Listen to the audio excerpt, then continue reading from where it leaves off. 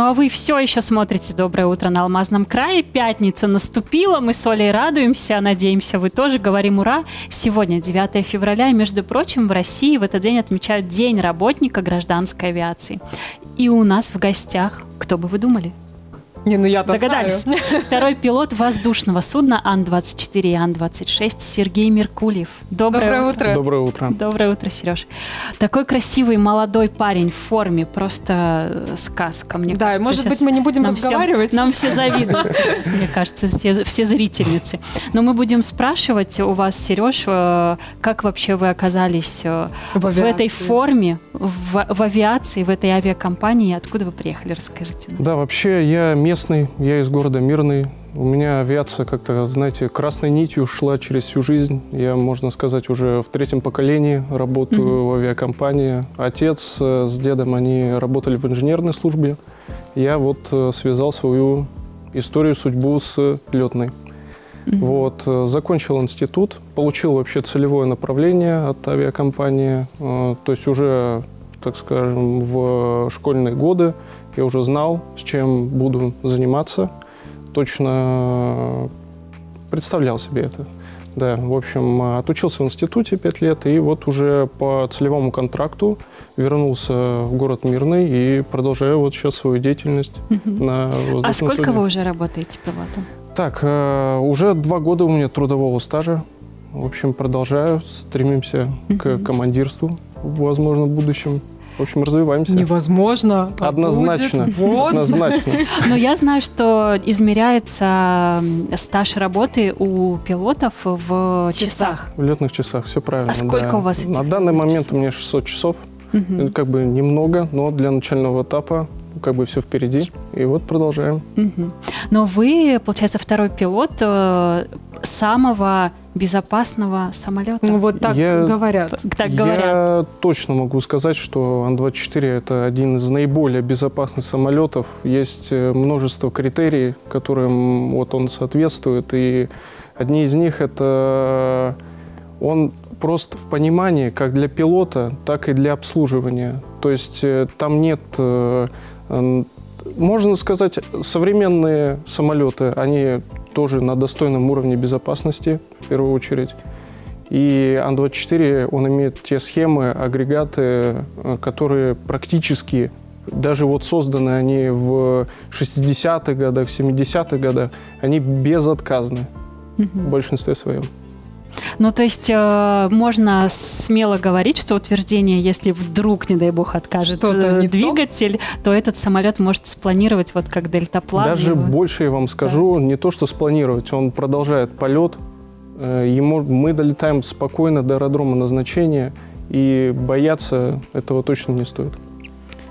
Все. Все, ты не боишься? Я и не боялась. Я, У меня был опыт на Ан-24 в качестве пассажира, и вот мы уже просто до, до эфира успели поговорить.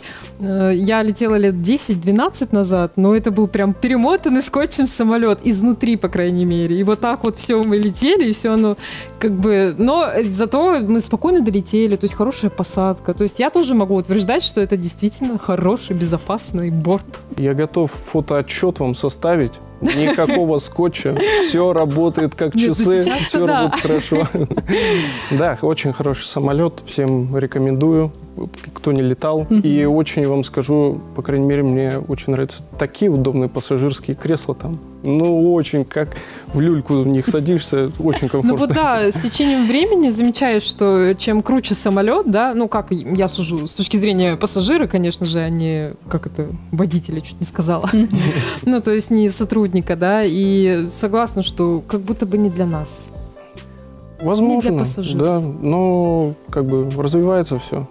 Все надо смотреть там в дальнейшей перспективе. Ну, мне кажется, мы точно совершенно можем проверить и удобство, и, и, и безопасность, и вообще комфорт э, полета.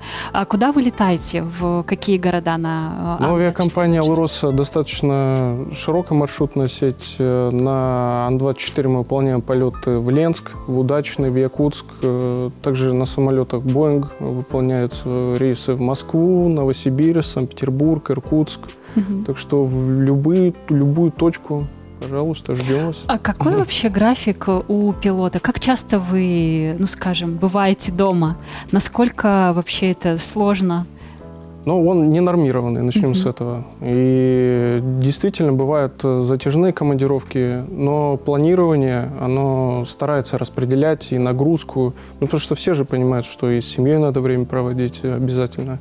И достаточно, вот, по крайней мере, на 24-м у нас э, нет такого, что рейсы ночные в большинстве своем у нас э, мы выполняем, уезжаем с утра, приезжаем mm-hmm. вечером. Mm-hmm. То есть с утра ушел из дома, через 8 часов э, уже, уже дома. Так, поработал, Можно и так сказать, Поработал да. в офисе в небе. Ну, так. Классно, да? да? Романтично, да? А, я очень хочу спросить у пилота вопрос, который меня давно мучает. Давай.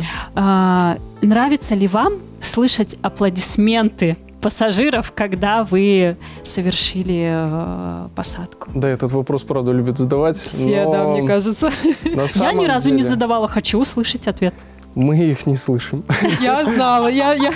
Нет, ну вы же можете себе представить, что там Конечно, можем, но слышат их в первую очередь бортпроводники, и бортпроводники уже нам передают, что вот пассажиры аплодировали, угу. и, конечно, приятно. То есть все-таки надо аплодировать. Ну, мне это кажется, уже по вашему настроению. Каждый мне, волен мне кажется, делать, здорово, что хочет. Да? Ну, если бы еще везде так было, а не только во время перелетов, то есть ты выполнил свои обязанности Молодец, спасибо. Нет, ни в коем случае. Я как бы сама с удовольствием всегда аплодирую, просто потому что не чтобы сказать спасибо, что живой, а просто, ну вот, действительно, как-то все прошло. Какой-то торжественный момент, не знаю, когда вот идешь к посадке, и ты видишь, и прям чувствуешь, как выпускаются э, шасси, и прям видишь так, чик-чик, и касаешься земли. Я не знаю, я как это... Да, а Что чувствуют пилоты? Ну как, это в первую очередь э, ответственность большая. Ну, надо соответствовать всем критериям безопасности и понимать, что у тебя за плечами сидит э, большое количество пассажиров – и, естественно, там уже мобилизируются все ресурсы, особенно на посадке. Конечно, там отдача идет стопроцентная. Вы помните свой самый первый полет в качестве пилота? Конечно, помню. Я даже помню, что он был 22 января. О, как! Да, это в институте у нас вот по программе практики мы проходили. Ну, помню, конечно, мандраж был сильный, но когда вот садишься за штурвал, и тогда прям очень большая концентрация достигается. А какой самый интересный запоминающийся момент у вас был в работе? В практике? Ну, конечно, это вообще первый самостоятельный полет, когда летишь один. То есть не на кого, условно говоря, положиться, там, потому что первоначально, естественно, все полеты с инструкторами. А, и вот в первый самостоятельный полет э, все, вся ответственность на тебе ложится, летишь, и вот там вот этот момент, э, там, буквально он длится первые там минут семь, ну, они прям как дня два по ощущениям. Ну, правда, это вот самый запоминающийся, действительно.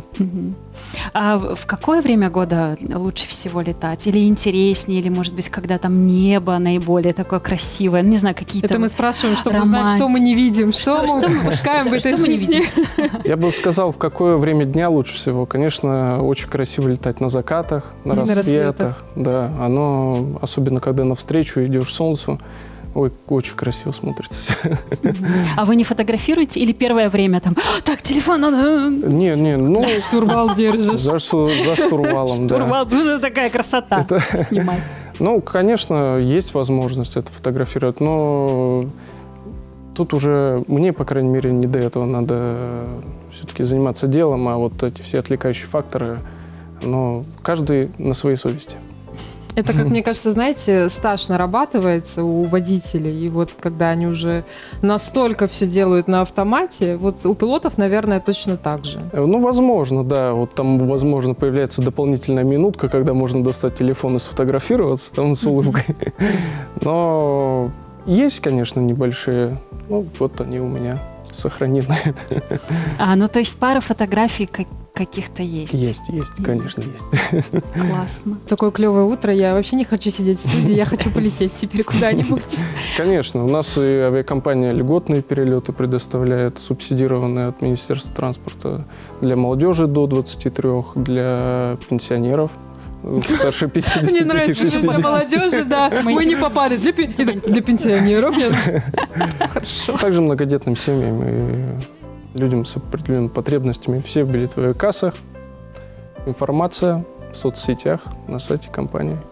А это правда, что для сотрудников э, авиакомпании э, не то что льготные билеты, а вы вообще в любую точку можете полететь? Ну, куда э, летает авиакомпания, и это бесплатно для вас? Конечно, есть такие услуги. Но ну, там она не совсем, мы платим неустойку, и, но она, конечно, в процентном соотношении ну, действительно меньше. Есть возможность путешествовать, в отпуска ездить. Как Леонардо Ди Каприо, да, в «Поймай меня, если сможешь». Просто «Здравствуйте, ребят, я тут застрял, не подбросите меня». Ну вот э, тогда последний, наверное, вопрос. А были ли какие-то вообще забавные, курьезные ситуации на работе, о которых можно рассказывать? Главные условия. Да нет, конечно, ну, забавных-то именно в полете, подготовки к полету нет. Бывало, бывало вот, э, когда в загруженные сезоны каждый день вот э, работаешь, ну и так время немножко смазывается. И вот вроде тебе выходной поставили, но ты вот привык вставать, ну вот все, норей. С утра встаешь, едешь, и вот уже пока в такси едешь, понятно, едем домой. Ну вот это такое. А так все, э, все серьезно максимально. Действительно, приоритеты – это комфорт, безопасность и отдаешься максимально. Ну, Сереж, мы вас э, и всех э, ваших коллег поздравляем с праздником. Э, вам отличного настроения, замечательной работы, безопасных самолетов, которые интересно пилотировать и, э, и легко, самое главное, да, мне кажется, главное, чтобы была легкость в работе. И, наверное, еще этих хороших пассажиров, которые аплодируют так, чтобы вы слышали. Да, вот. Хорошо, спасибо вам большое, что пригласили. Спасибо. Спасибо, Сереж. Первым делом, первым делом самолеты. И доброе утро на Алмазном крае, которое, кстати, подходит к концу. Мы мчим навстречу выходным. Всем желаем их хорошо провести. И до следующей недели мы с вами прощаемся. Пока-пока. Пока. -пока. Пока.